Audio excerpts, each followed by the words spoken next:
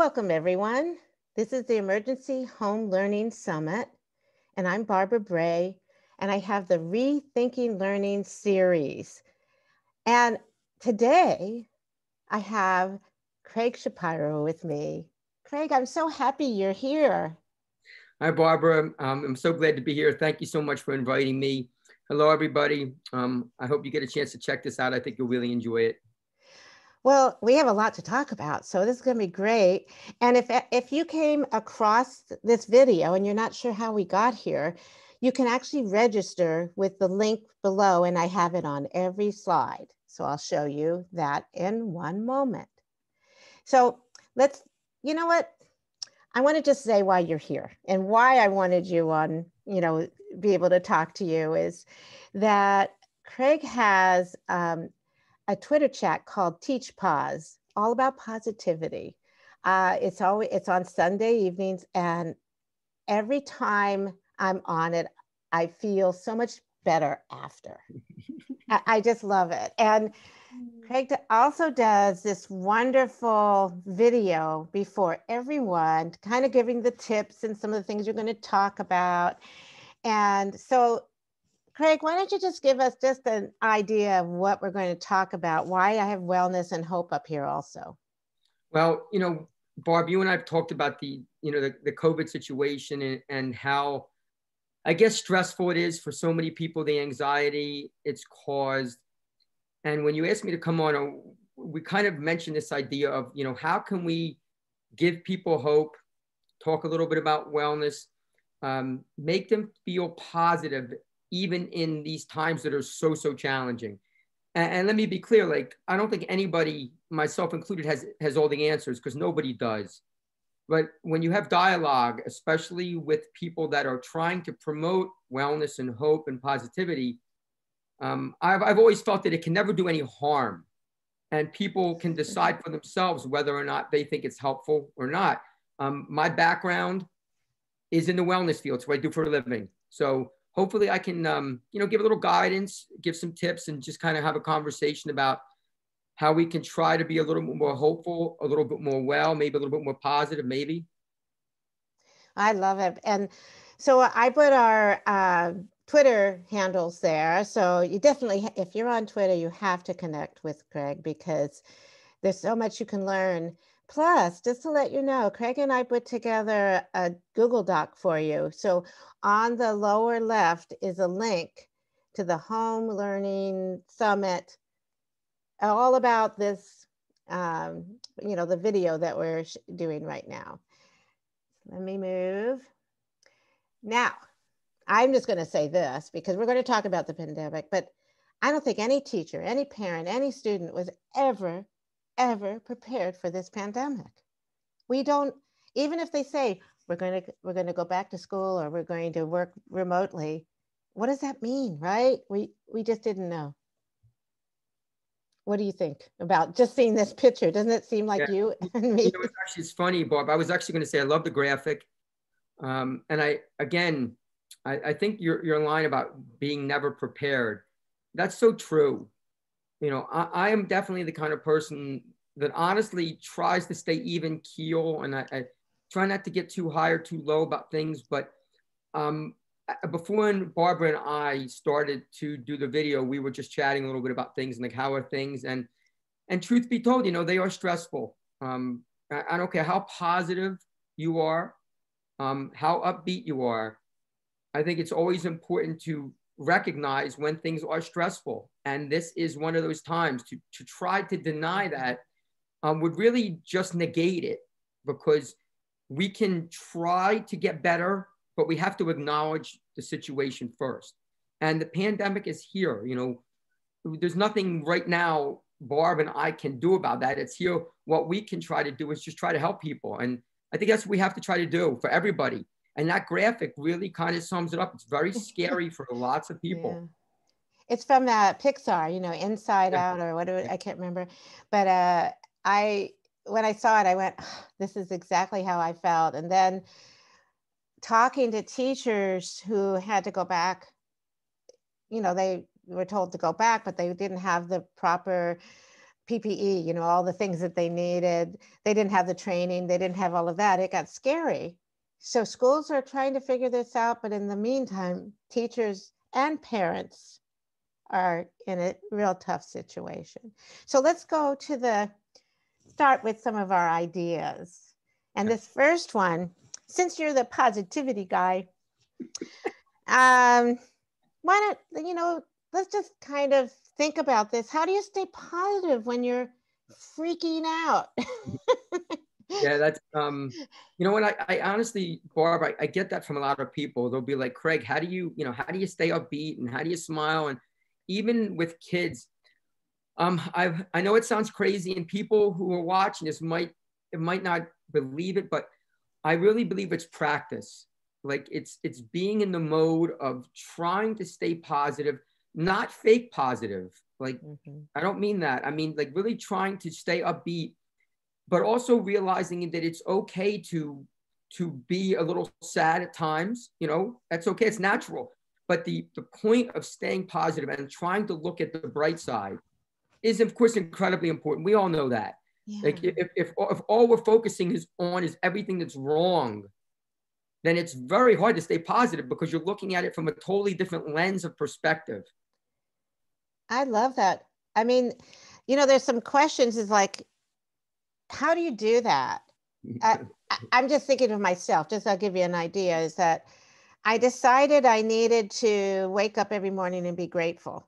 Yep. So I started, I put it away. I have a gratitude jar. Mm-hmm. I brought it back out and said, you know, if I don't change this, I was going down and spiraling. If I don't say something I'm grateful for every day, I there's no reason to get up, right? I'll tell you, you know what? Like i hope i hope somebody just heard what you said because ultimately the idea of being grateful and being positive and being hopeful you can't wish it. Like it doesn't work like that. I can't, can't wish myself to be positive. I, I can't wish that i'm hopeful. I have to mm. do something first whether it's a gratitude journal a gratitude jar um, having a ritual every morning that you do, something to start your day in a very positive fashion because it's like anything else, it's habits. What habits do we do that are going to help us to stay positive or even honestly to just get po- positive? Like yeah. I, I'm the first person to admit, um, I think I've always been a positive guy, but you know, I think more so now because I've really trained myself with the habits I do. Well, give me an example of what you do to stay positive. Okay. I so, mean, and and then we have to talk about teaching too, because there's some other things that are happening. So for, for me, it's just very simple. Um, again, sounds crazy, but for me, every morning when I wake up, I make a promise to myself that I'm going to have a good day. Hmm. And again, it, you know, there's things that happen during the day that might obviously affect that, of course but it's the initial idea of when this day starts, whatever happened the day before is, is history. Because I, I can't change what that was. All I can do is when I wake up in the morning, get out of bed, think that I'm going to have a good day, practice a smile, practice to stretch, something that's going to get me thinking about something positive. And I can tell you, I will just hop in very quickly. When I, when, when I go to school every day, there is a promise that I have made to myself and for students for many, many years. And that is this issue that I am going to be positive all the time. And it doesn't mean perfect, it just means trying to be positive. Wow. I I had some I went through a period a few months ago where it just got to me where I couldn't see my family and I couldn't I know parents and grandparents especially who can't see their grandchildren it's really tough. And so I was feeling really down. And my husband said, Did anything good happen today? Or did you learn something today? And I mentioned something that I did. And he goes, You know, that's a lesson and a blessing. That's a blessing, he said.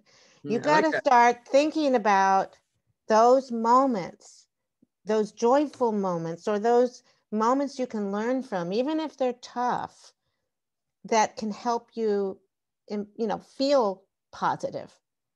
And I never thought of it that way. It really helped me, even though I wanted, you know, at that time I didn't want to, you know, it's my husband. I'm like, oh, leave me alone. Right. I can do it, you know, but it, you, it, it's so funny you say that, Barb, because there's a lot of times where, um, where people will kind of poo-poo like this idea of well you know how do you just be positive or how do you just be hopeful yeah. how do you just do that right like but it, it really does take a few little things like what you're saying with a blessing like it's it's it, even though it might sound weird and corny it's not because you have to start somewhere mm-hmm. you know if you if you keep finding ways to not do something then you can't expect it to get done because you keep finding ways to not do it yeah, you and, procrastinate. Right. Yeah. And, it, and it, again, it doesn't mean perfect. Well, the problem with teachers, like me, I'm a perfectionist. Yep. A lot of us are, and we don't want to look bad in front of the kids or or for a parent, we don't want to admit that we made a mistake. But actually we need to do those things now. Because we're not going to be perfect, not now. It's, it's right? just being it's just being it's actually just being a human being. That's right. Like, I mean, like what kid, like, I don't know how many times I've said to students, hey guys and girls, listen, so I am messed that up. Let's try it again. Like kids of all ages, from young kids all the way up, they respect and appreciate a human side to it. Yeah. Whoever, I want to know whoever said that we are supposed to be perfect because we're an educator. That's ludicrous. I don't know. I mean, but we might have done it to ourselves because that's maybe, you know, because we're the kind of people that got into teaching because we thought we had to be perfect.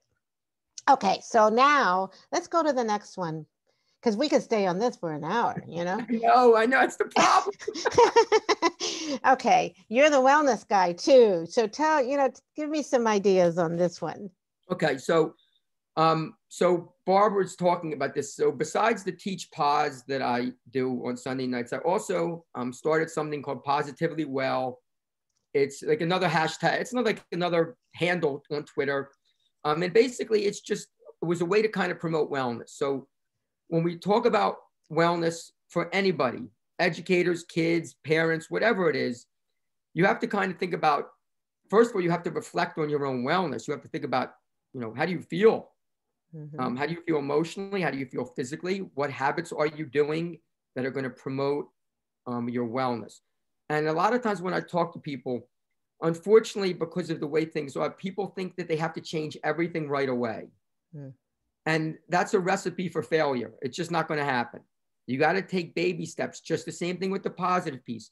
So I, I always try to say, like, what is the one thing you know you can do a little bit better that's going to help your wellness? Maybe it's eating something healthy. Maybe it's getting up and moving. Maybe it's coming to school that day and playing music for your class to kind of brighten the mood. Um, maybe it's greeting people, obviously in an un-COVID situation, but it's again, it's it's something, a little thing that you can do, and you build upon it. Like it's like a pyramid. Like you got to have a base that you're going to build upon. Like some people think I have to build the whole pyramid all at once. Mm-hmm. Well, of course we know that won't work. You have to build a base, and if that base is nutrition, great. If it's exercise, great. If it's surrounding yourself with positive people, like the Twitter PLN that we have, there is not a person in that group that is not positive. Well, at and, least they're not showing it. Well, right, right, and right, and you don't know, yeah. you know, you we don't know down deep what somebody is. Yeah, or what least, they're going through, you know. Right, but at least in those moments, they are they are promoting a wellness attitude, and again, mm-hmm. that's that's what we really have to do. You have to start somewhere with an attitude that's going to help you with your wellness. That's right. Now, I'm just going to tell you, I'm really proud of myself. I decided that I was going to lose weight. I decided. And the only thing I could think of, because I had a problem with my sugar level, was going up and my weight was going up. And I'm a not a real tall person. I was going, well, if I was six feet tall, I'd be perfect, but I'm not. so I decided to really watch the carbs. Yeah. I went yeah. to a nutritionist. I worked through a whole bunch and I'm so proud of myself. Up to this time, I've lost 14 pounds. That's great. And I've also dropped my sugar level that I'm no longer pre-diabetic. I mean, that's pretty cool for me. I'm really, and, and what I'd say to you is I want to ask you a question. uh-huh. And I think this will help everybody. So in many of the videos I do, I talk about well, like, you know, nutrition and all that stuff. But I want to ask you this, and it's a very simple thing. Do you feel better? I feel so much better. I sleep better. So the bottom Everything. line, the 14 pounds, while while that is great, Mhm. what's much better is the fact that you feel so much better. Yeah. Because that's ultimately what wellness is about. How do you feel? And if, if they go hand in hand, you know, you said, I feel so much better. I sleep so much better. My blood sugar's down. That's all about wellness. Yeah. I have one more. I've been doing mindfulness training. And so I'm doing a lot of breathing Mhm. and breathing strategies. So, and dancing occasionally. I have to, every 20 minutes I get up. So I have a Runkeeper and I have some other things that I watch that my doctor's helping me with. And, and what happens is if I can get up and do at least 5,000 steps in the house, I mean, I'm not outside because of the, Yeah. I live in California. We have not only not only wind that I didn't even know we could meet today. You know, I was a little anxious. we had smoke because of the fires. We couldn't go outside. We had uh, so much going on. So I said, you know, I got to make my inside a place where I can get well. Mhm. I can do something. So I Mhm. do five to 7,000 steps. I dance, I breathe, and I take breaks from my device. Mhm. And just sometimes I'll just read or I walk in my garden. But I think that every one of us needs, and there's parents out there that are just, the, they can't balance working at home and then all of a sudden their kids need help on the computers and it's this wellness piece is big I think um, I was going to say something because I really, I really like what you brought up about being in the house and moving. Right. Um, this for everybody. Here's something, and if it comes off harsh, it's not meant to. It's just really more like honest and helpful. I hope. Um, there is no excuse to not move, and you know if you're taking five or seven thousand steps in your house, you're moving.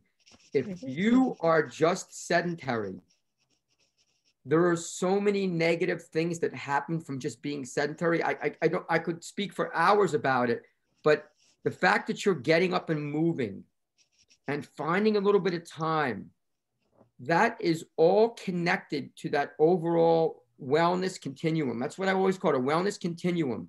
And where is your continuum? You know, sometimes it's all the way down here, and sometimes it's all the way here, but a lot of times it's in the middle. It's going to move. And Yeah. your idea of of watching what you're eating and moving those two things are universal and it's universal for everybody parents kids teachers Mhm. leaders for everybody that's Mhm. universal wellness well i've watched your when you talk about from positivity well uh, i really think that you're helping me by some of the things that you're saying because i see you out there I, I hope some people connect to you and they can listen to some of your videos because what I found, Craig, is that um, you this is in your heart. You believe this so much, and your kids and your students really, you know, they really learn from you, but they miss you and they need they need those videos and being connected. So I'm hoping teachers will do what we're doing and parents maybe somehow doing some videos and sharing like walk walk along and talk about what you're doing and do a selfie at the same time you know um, i think it's that's so do it. i'll tell you what um, one of the things I, I, I, I, truly admire about you is you're willing to, to be a risk taker. Um, and a lot of people and, and i am as well because I, I honestly don't really care most of the time. I'm trying to make a difference and hopefully people like it. Mhm. um, we have to put ourselves out there in these challenging times you know and sometimes i've always said this and this is what i believe if if one person watches what we're doing and they get something out of it, it's so worth it. Yeah. Because everybody needs assistance and help. And when it comes to like the wellness piece, as an educator, I do live it, but I also live it as a person. It's been part of my life for mm-hmm. since I've been a young kid. Um, hmm. and what and what would be wrong with it? Like, what's wrong with being positive? Nothing. Nothing. What's no. wrong with what's wrong with being hopeful? Nothing. What's well? Wrong? Let's get well, let's get to hope. Okay. Let's talk about that because. Sorry about that. No, that's okay. It, you know, it's there's not much on the slide, but we're going to add a lot to it because one of the things um, there's also an Roman Nowak also has Build Hope EDUs, yes. which Great. is right after yours. Great and I just love Roman and what he does. Yep. But both of you, this idea of having hope. Some people, I'll just let you know, I've talked to some people who call me or want to talk, feel like they have no hope. They they're not happy with the situation. They can't work with their kids. They're they want to quit as a teacher. How do we, what do we say? God, I'm thinking. Um, well, the first thing I think we have to do is we have to acknowledge. Okay. A lot of times people will say, oh, it's, okay, it's going to be okay. It'll be okay. But the person doesn't want to hear that. They're dealing with stress, anxiety. They don't have hope. When you say, don't worry about it, it'll be okay, you're totally denying how they feel. So the first thing we have to do is we have to acknowledge that people are going through pain or, or having trouble. And the next step, at least for me, again, no, no, I'm not an expert, I just talk about it, is, is really trying to give some steps that are going to be helpful for people. And they all tie into the same things. What can you do as a person that's going to give you hope? I mean, wow. that what, is. I don't know. I mean, when you just said that, I was thinking of somebody who contacted me and said that their life is just miserable. And first thing, because I've I've been in therapy and I've and I know someone who I was concerned they might hurt themselves. I asked this one person, I said, I have you made plans? I said, and they go, oh no, no, no, no. And so right there, then I can open the door. Mm-hmm and make sure that they they're just down right now. They they're having some issues, and I then you don't like you said, don't discount these feelings. But let them talk about them. And and the whole piece, uh, mm-hmm. you know, if I said to you, Barb, is COVID going to be here forever? That would be scary for some people. But, but do you think it's going to be?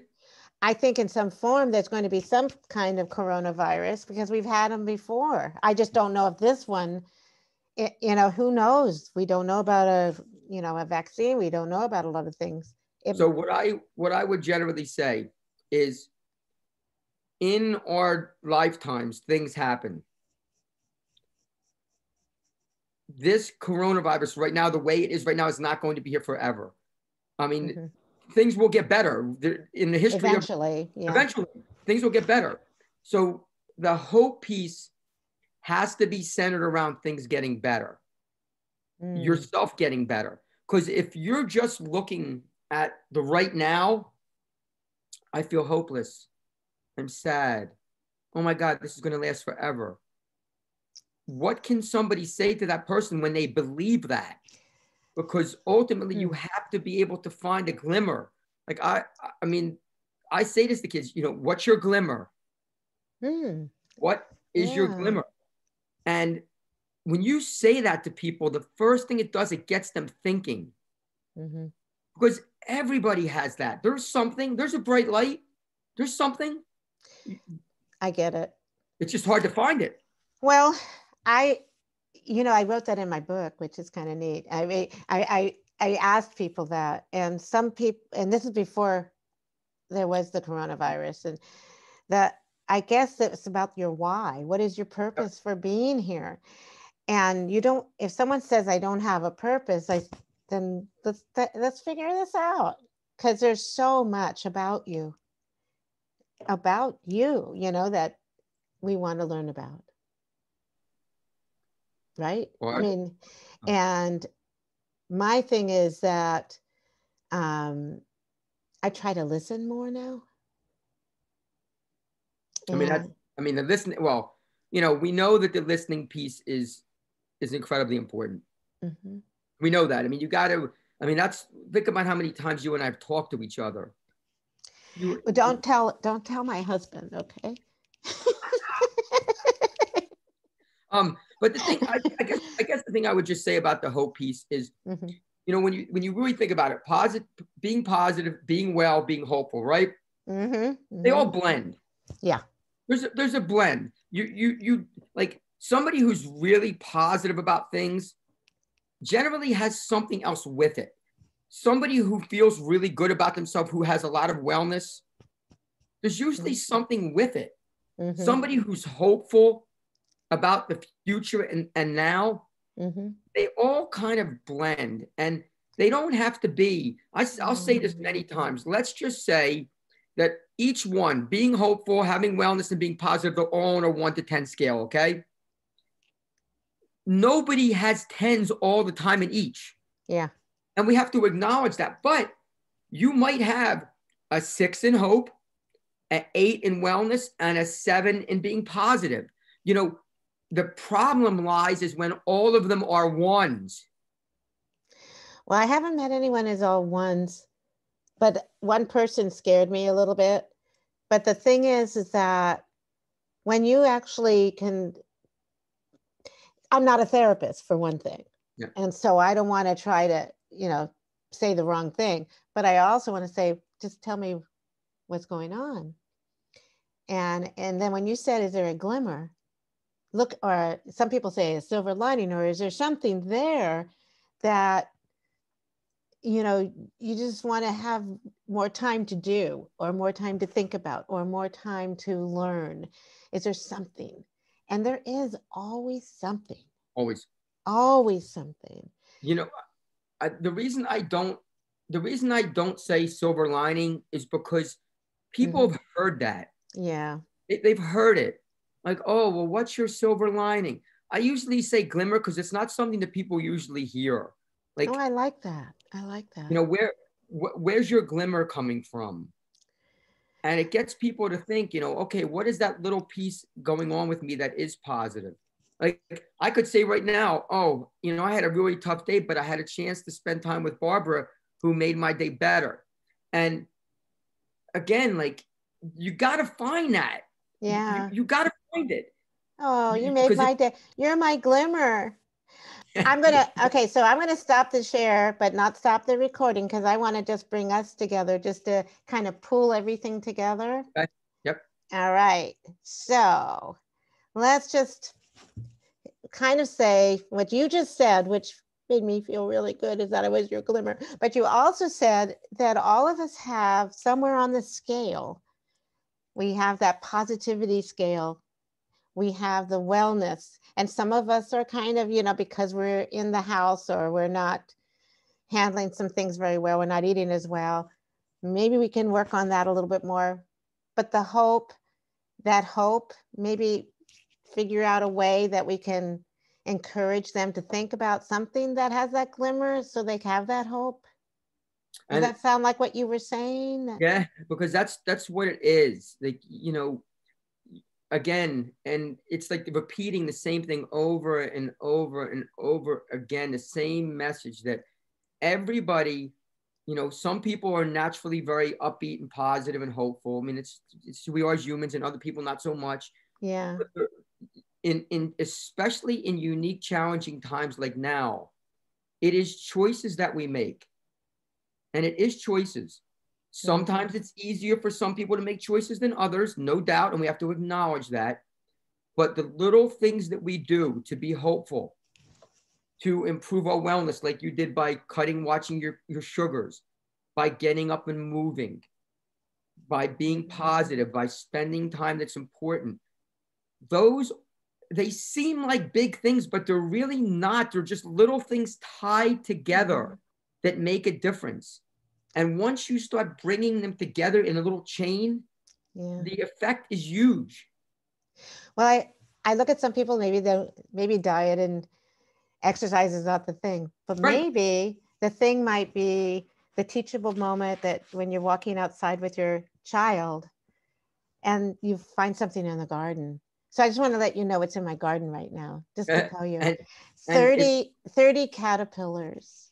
Oh my God. I have, yeah, the, the monarchs came back. We have milkweed, and I'm watching them and praying that they're going to turn into these beautiful butterflies. So every day I go out and I count them. I'm trying to find them and see if there's a chrysalis out there.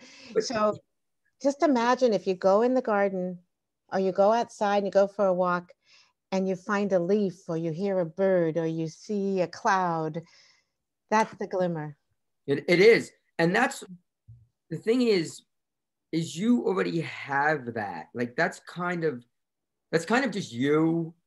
Um the, the que- and and it doesn't mean it doesn't mean never sad or never upset, but you already have that piece. What we gotta hope for by doing this is people will find that glimmer in something, in something like it, it can be gardening, it can be walking, be spending times with, with your children or your family, or, or really enjoying your job, whether you're an educator or something else. It has to be something, the little Oh. thing. Because if you don't find that little bit of glimmer, then it's easy to lose that hopefulness that you want to get. but let's think on a positive note because I I have to close this. Unfortunately, I love this. This is th- hey everybody, this is my glimmer today tonight. Uh, I always love talking to you, Craig. And the thing is, is that um, one of the things that you do is you bring that glimmer because what you do is help people open the door to find things that maybe they weren't looking at before. And when I started bringing out my gratitude jar, I reached inside and I pulled out something, and I and you will love this. One of them was I, I w- I couldn't believe it. I pulled it out yesterday, and it said, "I am so grateful for Teach Pause." well, I'm glad. we do. I- we I don't even know how that happened. So every day I put I, I mean, it was really funny that it happened. I should go, I didn't, I put it back in the jar. But anyway, what I'm finding is it's really important to do what we do and share it. And when you have those moments, share it with somebody. And if you don't have somebody, then reach out, reach out because I didn't know you a few, was it a few years ago? I never knew you. Yeah. Now we talk a lot. Yeah. And I love this. Well, we, you know what, we've made that, we've made that connection because it's been important to us. Yeah. And and again, it goes back to the things that we've spoken about. You know, um, I'm just hopeful that that people who are watching this and listening to both of us will pick up one thing. yeah. Maybe not a whole bunch of them. Uh, one thing, one little thing that says, you know, you know what? I was listening to Barbara and Craig, and I picked up this one tip that I think I can try. Or I heard them and it inspired me to be positive, or it gave me this chance to be hopeful, or I learned something about my own wellness that maybe I can improve on. Because it doesn't have to be everything, it just has to be one thing. Mine was bread and I had to give it up. But I have to say that I actually am okay now. All right. I will- we, could- we could talk, for, you don't even want to go into the nutrition piece with Now me. we're going to go. But anyway, thank you so much, Craig. And uh, I hope everyone enjoyed our time about positivity and wellness and hope and keep looking for that glimmer. Thank you, Barb. Thank you.